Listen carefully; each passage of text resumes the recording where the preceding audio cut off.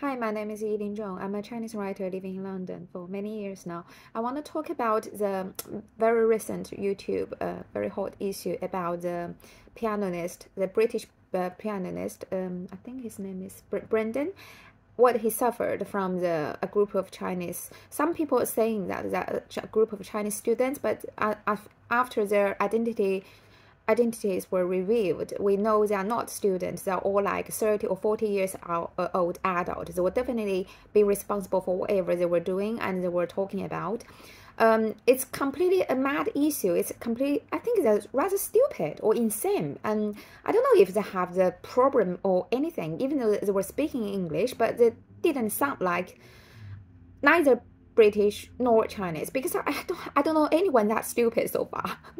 I just cannot believe this could happen. So what I want to address today is um, I know there's one major issue which Brendan uh, said in his following um, video, saying that the uh, the so-called British woman, uh, the one who dressed in red, and she was saying don't shot him for five times between the video. I think it's like uh, on the 13 minutes, 32, uh, 32 to 34 or something.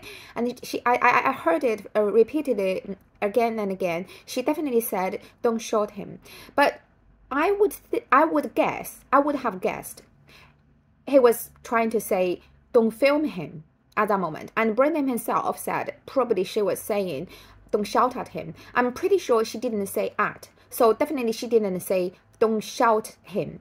She definitely said don't shoot him. So at the beginning I was thinking she might be meaning that um, don't film him. But later on I saw other videos and other uh, disclosed things um, because they were saying that she might be one of the Chinese officers' uh, daughter or wife. Uh, for that point, I doubted because for her, you know, no Chinese uh, government officer's wife or daughter will be doing the plastic surgery like what she did. So I'm pretty sure she was from a nowhere at least a normal family, definitely not a rich or high rank officer's family. Um, and uh, I don't know how she got the British passport or identity, whatever, but I'm pretty sure she's not a Chinese government official um, daughter or family members. I'm pretty sure about that.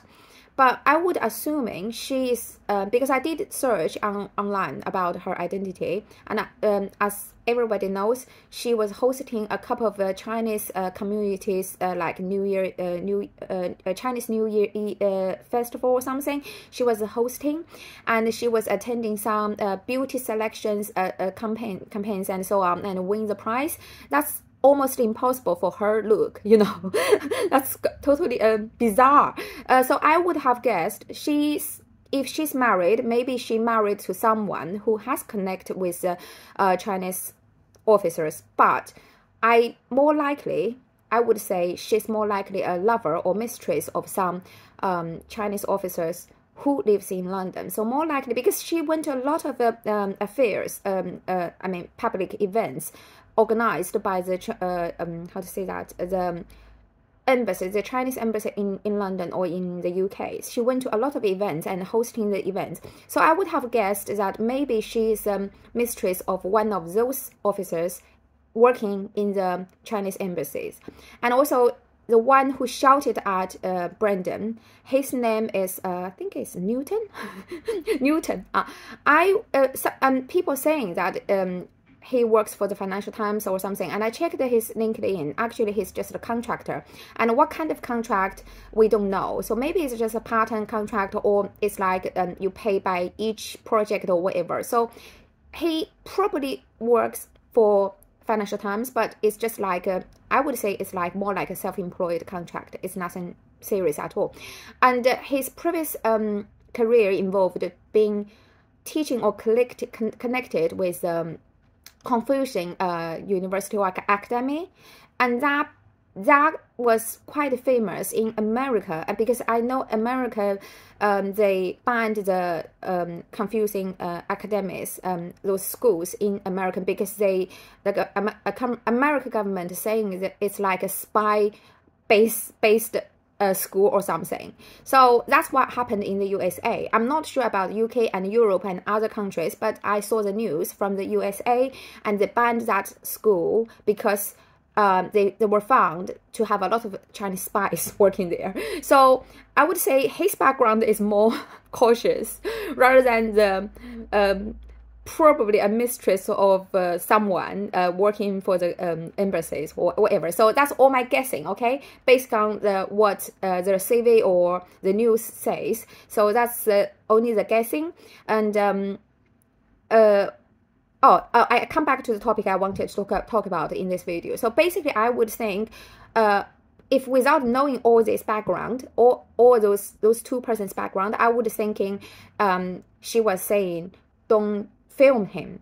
But because of this, they do have some kind of connection with the uh, officially or not officially with the uh, Chinese embassy or or government or whatever. So I now I'm not sure if they have anything like gun or armed or anything.